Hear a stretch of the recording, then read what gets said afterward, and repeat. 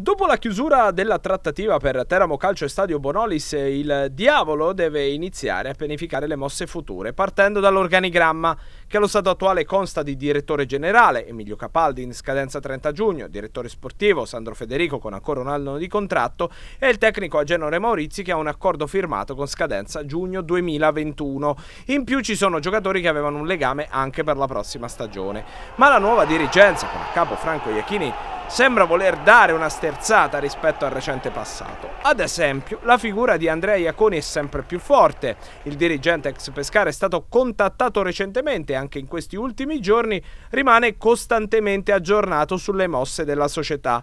Probabilmente questa settimana sarà importante per capire se ci sarà o meno la possibilità di portarlo in bianco-rosso. Due le soluzioni possibili, o in collaborazione con Federico nel ruolo di responsabile dell'area tecnica in grado di interfacciarsi col direttore sportivo per stilare il piano tecnico del diavolo, oppure in solitario e in una circostanza simile Federico non avrebbe spazio nell'organigramma. Su questi scenari si ragiona anche in queste ore e riflette anche lo stesso Iaconi che non escluderebbe un'esperienza a Teramo ma solo a fronte di un progetto ampio che non si limiti soltanto all'allestimento della rosa per la prima squadra, ma guardi in una prospettiva a medio-lungo termine anche al settore giovanile, che possa essere nei prossimi anni un serbatoio per rinforzare la prima squadra, che in ogni caso sarà rinforzata oltre che completata in questo senso scendono le quotazioni di Maurizi che potrebbe non essere confermato dopo la salvezza conquistata in questa stagione.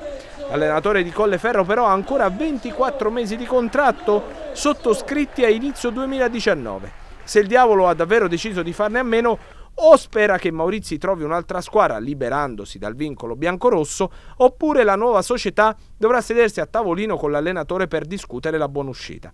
Addirittura appare che qualche idea sul prossimo timoniere sia già nella testa della dirigenza, in attesa che il passaggio di proprietà si concretizzi, con le firme notarili, che a questo punto però saranno una formalità. Il binario però sarà doppio perché tra due settimane c'è anche la deadline per l'iscrizione al campionato.